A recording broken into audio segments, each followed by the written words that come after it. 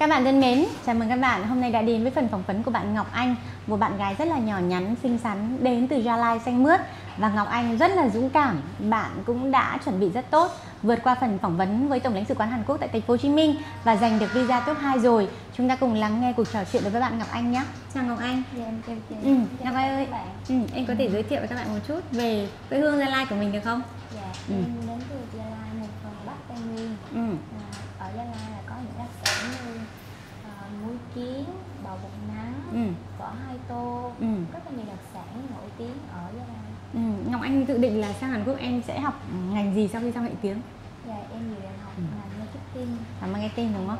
Chị thấy là em có một giọng nói rất là dễ thương Khi mà em diễn tả về quê hương Gia Lai của mình Thì đó có phải chính là bí quyết để em đỗ visa không? Hay là còn những bí quyết gì khác ngay bên ngoài một giọng nói rất là dễ thương? Dạ, là bột em muốn đổ visa thì em cần là đầu tiên là chăm chỉ, học Ừ. hành là chăm chỉ. Ừ. Thứ hai là em phải tự tin, Ừ, ừ, ăn nói rất là lưu loát À. để cộng lãnh sự nhìn vào mình là biết mình sẽ đổ à, ok, tức là nếu mà em tự tin này, em chăm chỉ này Và em có một tác phong rất là tốt, được rèn luyện thì em sẽ rất là an tâm và vững vàng khi vào tổng lãnh sự đúng không? dạ. Ừ. À, Ngọc Anh có thể chia sẻ với các bạn lý do tại sao em lại chọn trường top 2 không? Dạ, trường top 2 thì em nghĩ là phương án an toàn nhất Ừ. à, mặc dù có thể phỏng vấn Ừ. nhưng ừ. chỉ cần chúng ta chăm chỉ thì Ừ.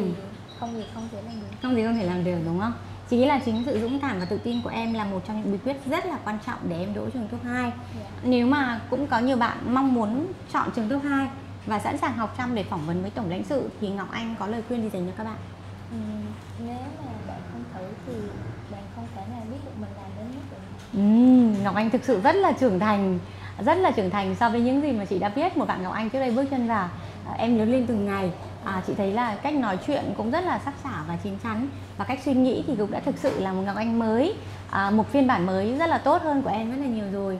À, Ngọc Anh có thể trao đổi rằng tại sao em lại quyết định chọn mép thay vì à, rất là nhiều đơn vị khác được không?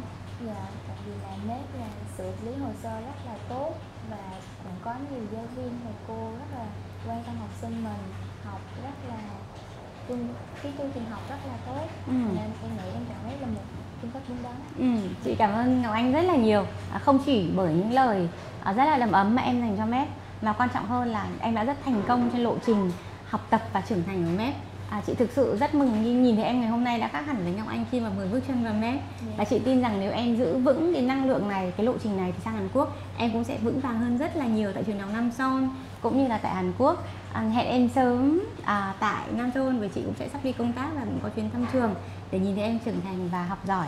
À, lớn lên mỗi ngày nhé dạ, Ừ. Hẹn gặp lại các bạn tại Hàn Quốc cùng với bạn Ngọc Anh của MEP nhé